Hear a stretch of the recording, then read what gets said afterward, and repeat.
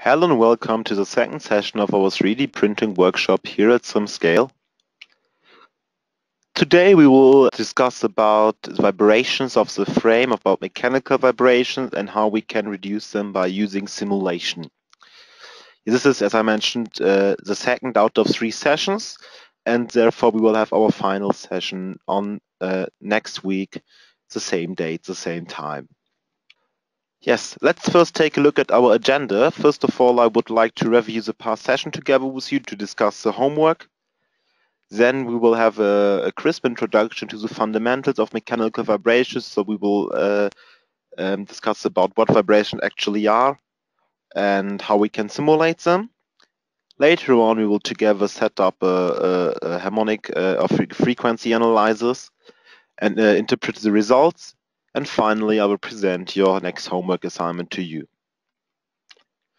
My name is Milad. You may know me from the last session or some of our other webinars in the past. I'm working here at SimScale as a marketing program manager, so therefore one part of my work is to make sure that new users and enthusiasts get as fast as possible used to our simulation platform. And I have a mechanical engineering background with uh, more than 10 years experience in engineering simulation. Let's again talk about what this workshop is about, just to make sure that everybody is, is exactly uh, uh, uh knows what we will do today.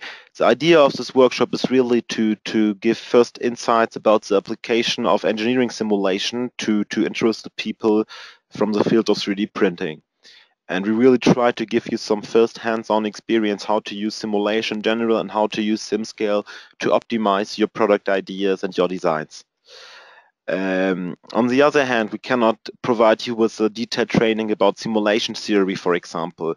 If you're more interested in the fundamentals than in the application, uh, you should um, maybe if you're a student, uh, I'm quite sure that university is offering lessons about this, and there are also some very good blogs and books about the fundamentals of, of simulation theory. And also, if you are more interested in a in a general application of simulation uh, and how to use it in in commercial design projects, uh, then I would recommend you to to to um, take part at our um, free uh, our professional training. And the good thing is, if you submit all your three homeworks, you can get a free professional training uh, with a value of 500 euros. And just because people ask me every time, boy, we're offering such workshops. The reason is that we're really saying simulation is, is a tool every engineer should should know and use. And therefore, we want just to introduce, on the one hand, engineers and designers to simulation SimScale. On the other hand, we would for sure appreciate to get product feedback from you or some contributions to our simulation library. Yes, um, like last time, we will today have a one hour online session with live demo. You will have the optional homework assignment, uh, which you can use to get a certification and to win the professional training. And well, uh, once you've done your homework, please share it using the, the, the form we provide you with. And there are a lot of questions also which are asked every time, for example, if this session will be recorded. And yes, we will record it and provide you with a record. And where you can get the spot, for example, is also something people ask me. And if you need help, just go on simscale.com and our forum. I can just show it to you on simscale forum.simscale.com. And here we have a if you switch to categories, we have a dedicated category just for the 3D printer workshop where you can ask your question and get instant support. Right, then let's take a look at, at the, uh, the last session. Um, you may remember last week we talked about um, some fundamentals about 3D printing, how a RepRap 3D printer is basically working, and we talked about one of the, let's say, most central processes, the process of melting the, the um, plastic wire uh, in the extruder to, to use it for print. And this extruder, you can see the, the uh, such a simplified extruder assembly here on the left side, is basically made out of a cooling body, a nozzle, a heating block, and a nut, which is connecting everything. And um, it's very challenging to design such a um, extruder and to operate it because um, the way you, you're bringing heat inside is that you have this heat ring, this heat block, and there you have two holes inside. And in one hole you put a resistor which becomes hot, and on the other hand you put a, a, a thermal, thermal sensor. And then you're trying to adjust the right temperature in the end just by measure, measuring uh, uh, the temperature, let's say here, and in the end, your aim is to have a, a dedicated special temperature here at the in, inlet of the nozzle because you want exactly here the plastic to be melted and not before. And at in the end, we discussed and or I showed you how you can use thermal simulations to investigate how the heat is distributed through this assembly and to, um, to optimize it. And therefore, your homework was to first create a tetrahedral mesh, which is needed as a, to create a simulation and then to set up simulations for four different resistor temperatures. And here in the table, you can just see um, some um, uh, results I've prepared. And uh, I also uh, uh, took take uh, took a look at the exact temperature where the sensor is. And here you can see that the difference, the absolute uh, difference in temperature is quite constant. It's between two and three deg degrees or Kelvin, and relatively it's also quite the same. And this is, for example, a very good information for us because this means that, um, let's say, the, the error we have between the real temperature and the temperature we're measuring is quite constant and independent from the, from the inlet temperature, let's say. You can also see some visualizations. This is a cut through the assembly and uh, the color uh, represents the temperature. So blue is dark blue is very cold, red is hot, uh, and then it gets from red to to to yellow to green to blue to to light blue to dark blue, and we have the same uh, scale everywhere for all four images. So, um, and what we can see basically two things that independent from the temperature again, we have uh, this this nice uh, distribution of temperature which we talked about that you have exactly at the let's say beginning of the nozzle you have this high temperature you need and around it in the ring. And uh, if you go up this cooling body, there it's it's very very cold there, and this is exactly what we want to have. Great. Then now let's take a look into the future and talk about mechanical vibration, which will be our topic today.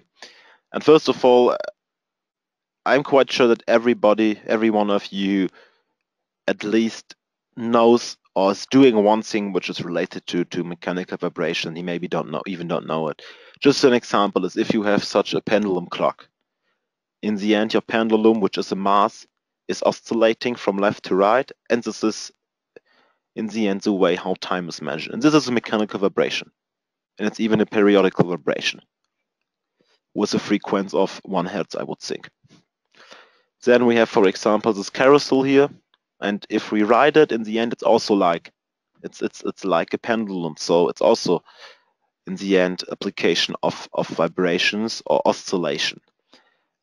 And if we take a look at this guitar and want to play it and what we are doing in the end uh, uh, we are uh, bringing vibrations to the string and these vibrations are transferred then into sound. And when we're talking about vibrations and engineering, there can be a lot of different applications. In, in manufacturing, mainly, vibrations are a big problem. Just think about a milling machine, a CNC milling machine. When you have vibrations, your precision gets down. And the same problem you have also with 3D printers. And why, uh, we will discuss it just in some minutes. And basically, there are two kinds of analyzers types we're supporting on SimScale for, for, for such vibration analyzers. First of one is the frequency analyzers. And the frequency analyzers, it's, it's a little bit abstract to understand it, but the idea is basically every body, and that's uh, physics, every body has own eigenfrequencies and eigenmodes. And these eigenfrequencies are these frequencies which will uh, uh, result in a so-called resonance state so that if you, for example, uh, you know maybe this video of this bridge 100 years ago where the soldiers were walking over the bridge and because they exactly hit the eigenfrequency of the bridge with the way they were walking, the bridge uh, just crashed. And this is a very vivid example of eigenfrequencies. But this frequency analysis just says where are these eigenfrequencies because they are only depending from the material and the design, but not from the loads. And when you have these eigenfrequencies, then you use them to investigate the response of your system to a, a special uh, uh, force, for example, periodical force at eigenfrequency of your body. And then you get by a harmonic analysis back the physical reaction of your yes, of your product, of your design, of your part. And if we take now a look at our printer, here we have this manual RepRap printer. Basically, this printer is made out of a frame. And you know, this is a good thing about the printer. These rods are standard parts. You can buy them everywhere. And these black parts are just printed. And you can print them with a, uh, so this, that's why the printer can reproduce itself. And if we would now take a look at the um, chassis, let's say, then we have this, this main chassis here. And inside this main chassis, there is this support chassis for, for the uh, Z-axis, or for the axis in general. And um, now you can imagine these red boxes here, that are the stepping engines, stepping motors. And they are controlling, in the end, or moving the printer or the extruder so that you can uh, uh, really print something. And now the problem is, or the problem, the stepping engines, or stepper end motors, as the name says, they are stepping. So they have, uh, they are not really moving continuously, but they are moving really step by step. And this is in the end also a kind of vibration, which is transferred then to the chassis. And now the question is, if it's possible maybe that uh, the frequency that uh, some of the eigenfrequencies of the chassis are similar with the frequency or the free, uh, frequency band uh, the en step engines are using. And if that's the case, that can create a lot of problems. Just imagine you you have this this this resonance case, and then uh, it starts to vibrate uh, faster and faster, stronger and stronger, and that will really destroy your printing quality. And what we will do today later on, we will just investigate one part of this frame, which you can see on the left right side. And first of all, we'll do frequency analysis of this part and use then the frequencies to make a harmonic analysis based on um, forces uh, which we assume for, uh, for, for standard printing operations. Okay, and here you can see how we will, uh, how the um, simulation setup should look like basically. Um, in the end, the printer is the the, the uh, here at the bottom the the bottom face the, these faces are cannot really move. They can just move in x and y direction but not in z direction not up and down. And here where we have these holes in uh, in the full assembly we have the other rods here. And therefore this is also somehow fixed uh, but not up and down. This is fixed in all directions. And these are in the end our later boundary conditions we need Another thing, I mean, if you remember last session, there we had also boundary conditions, but we also had contact, which we have to find. And again, contact sounds very complex, but in the end, it's just a little bit thinking. Um, again, the idea of contact is if you have a, a finite element simulation of a um, multi of assembly with several bo uh, solid bodies, then our simulation code does not know how they are interacting. And you have to define content to make sure that the interaction between the part is considered into your simulation. For example, without the contact, it could happen that parts are intersecting, which is physically not possible. And now we have to define the contacts here. What you can see first of all, if we zoom in, and this assembly is, or the way this assembly is made is that you have these rods, which are standard parts like the nuts and the washers here and then you use the washer and the nuts to to fix to connect them with the 3D printed parts. And first of all, I've used all metal parts, all parts out of steel or of iron to one solid to make my simulation easier because otherwise I also had to define contacts between the nuts and the washers and so on. And when it now comes to defining the essential contacts, we just have to take a look and then it will become clear. First of all, or in, what you should remember first of all is that you need everywhere contacts where faces are touching and they can move relatively to each other. and and and also transfer forces from one from one to each uh, to another. And then first of all, I would say we have here a contact because here the inner retrospective the outer surface are touching and the same on the other side. And if you just think you would, let's say, fix it here, then it's nearly fixed, but what is still missing is the interaction between the washer and the rest. And therefore we need a third contact. And these are our three contacts, the only three contacts we need. We have to fix the uh, rod into this plastic part and we have to fix the washers on this plastic part and that's it. And we have to do this three contacts for all connectors. So we have three connectors, so at least we have nine contacts, or we need nine contacts. Okay, then I would say we can just jump into the live demonstration. Just again, just uh, uh, let's roughly discuss the process. We will upload a CAD model or import a CAD model. Then you have to create the mesh. The mesh is necessary. It's it's it's like it's called mesh because, as you know, you are creating a kind of of mesh structure. So you are dividing your geometry into small tetraeders. And the reason why we have to do this is that other uh, this meshing is equivalent to to the accuracy of simulation. And by making the mesh locally fine or coarser you can control this accuracy. And finally we'll do the simulation setup and analyze the results. Well then let's switch now to the SimScale platform. I've just opened several uh, tabs and um, yes, let's let's start.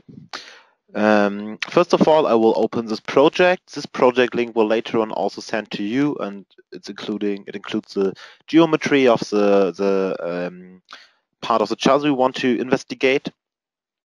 And yes, you can for sure also theoretically update uh, upload your own CAD model using this button, this upload geometry um, um, menu. But we will now um, yes mesh this as the first step. And um, what you can see, um, we have uh, this model is made out of six different solid bodies. We have three solids, including the, the, the rods and with the nuts and the washers, and one solid per each uh, plastic connector. And first of all, what we can check if we take a look at this model here is, um, for example, the bounding box length, which is nearly a half meter, and that is just a good indicator for us that conversion worked at in the right scale. Yeah, now let's create the mesh. Click the Create Mesh button to create a new mesh project. Then select the, the base, so the geometry you want to use or which you want to mesh.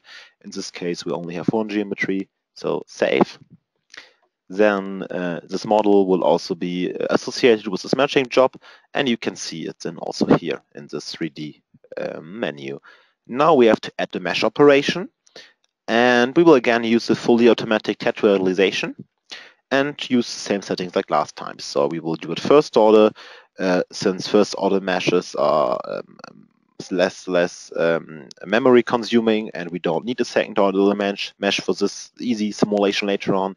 We will make a moderate mesh from the finest level and use for processors. Just save, press the start button, and then you go and the mesh will be generated in the next 10 minutes. To save a little bit uh, of your time, I've already prepared a, a, another project, including this finished mesh. So it's the same geometry, the same settings. I just started the meshing process earlier. And yes, the final mesh will look like this. And as you know from last time, this mesh is intelligent, so it's automatically refining the mesh in the near of, of, of small faces and edges. And again, we have six subvolumes of elements in this mesh. So this is exactly like last time for every solid, there is a own element group. Okay, let's do the quick wrap up. I just showed you how to upload a CAD model, uh, or in this case, how to open and import a project. Then we performed automatic tetrahedral meshing with, with uh, the parameter uh, for fineness of 3, which is moderate, and a first order mesh. An advanced topic here would be everything related to manual mesh setup. For example, you could uh, theoretically choose instead of this um, automatic operation, you could also do manual operation with, with, with refinements.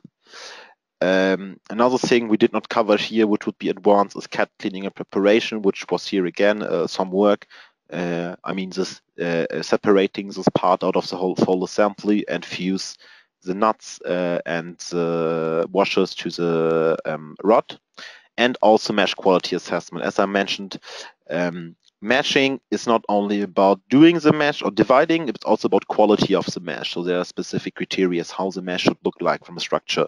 And this is something which is can become a problem for very complex geometries and very complex simulation. In this case, not necessary. By the way, you get also a kind of feedback and everything is worked right in this mesh operation. Okay, next step then is to set up the actual simulation. We will therefore switch to the simulation designer. Create a new simulation by clicking this button here, new simulation. You can uh, identify it by this plus sign. And then uh, we are guided to this menu where we can choose what kind of simulation we want to perform. In this case, it's a solid mechanics simulation and it's a frequency analysis and there are no sub options. So we can just click on save. Then SimScale will build up this tree and going through this tree will help us uh, to set up the simulation. So we are guided through the simulation. Everywhere you see this red bubble, it means that there is something which is mandatory is missing. For example, the mesh. We will use only mesh we have. Now it becomes also green. Next thing is not red, but it's uh, very also very important. It's called contacts. It's came just new this part of the tree. And as I discussed, or as we discussed, we need contacts. And there are two opportunities. You could also first create this face groups entity sets, and then create the contacts out for, out of them. Um, this is uh, maybe a little bit more comfortable if you want to do a lot of changes later on, but since we want to make it faster and very easy, we'll do it directly. And we'll now just do three contacts for uh, so do contacts from one of this around one of these these plastic connectors um, to show you how it's working uh, from uh, from principle. So let's start with add a new contact, and we will now focus on only on on this connector. This is body 3, so we can turn out the of the other ones, and we can also turn off this one. Okay, and let's start with this contact. So let's call it contact 3 for body 3 and 0 for the so number for the first um, contact. So we count 0, 1, 2. That's the engineering thing. and yes, as you see, contact 0 is between the cylindrical, cylindrical face of the rod and the hole of, of the um, connector. One is the same thing on the other side, and yellow is connecting uh, the washers, or con the contact between the washers and the connector, the plastic connector. Then let's switch back and start. And now a lot of people asked me last time, where do I know, know uh, if a face is master or, or slave? And for this, there are no very complete static rules and it's not like that sometimes it's even makes no difference but in general you should make the master you should choose this, the faces for master which are moving the less and which are bigger. And in this case therefore we will use as a master the in general the connectors and as a slaves the other parts which are connected. So let's start. And the easiest thing is for the first contact to define it. And we will now pick that faces here, which is our master first, or oh, just lost the name, contact 30, and the corresponding slave faces are these two. Select them here. Great. And we can save it now. This is exactly the same thing with the next contact. Contact 31 our master faces are this one and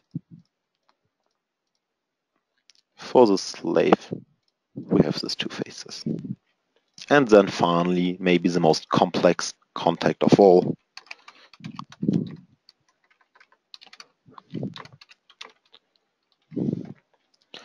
And here we need now everything. So the master surfaces, we're talking now about the washers with this connector. So if you want to take a look again about this contact 2, this yellow one. This is, are the master faces. And um, we have also here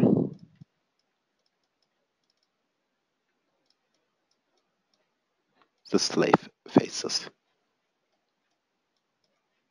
And now save. We will need at least nine contacts, so three against three contacts for the other two connectors. But since that will just take a lot of time, it's exactly the same procedure. I will just skip this. Um, next thing we have to do is to define add materials. So we can just take steel of a library for all parts which are from metal. So this through bodies. And, oh, my fault. First select, then add, then save. And we have to assign a material to these connectors which are printed out of ABS plastic. So let's call it ABS.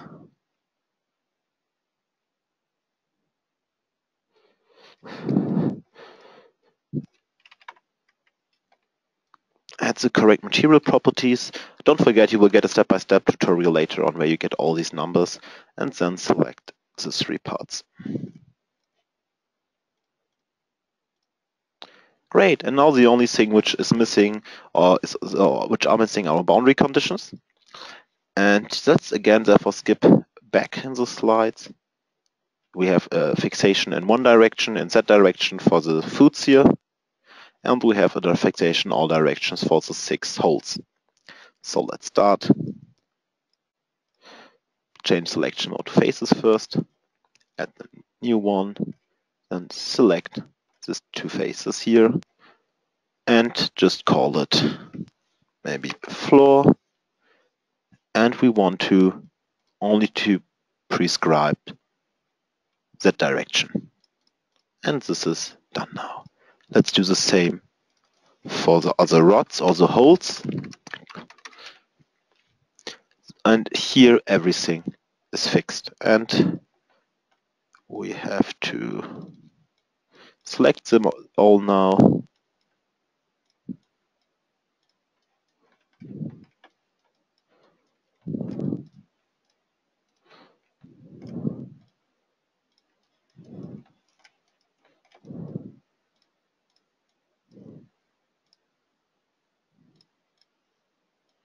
Okay, here we go. Great. And this is done. Yeah, so now finally we don't have to change any numerics, we don't have any preload, and now we have just to do the simulation uh, control. And we have here, this is okay, the maximum runtime and the number of computing cores. And then we have to say how many eigenfrequency want to be calculated, let's say 20 for example, and we have to define the lower and the upper frequ uh, uh frequency limit, which is investigate. So we will now only investigate the first 20 eigenfrequencies which are in this range.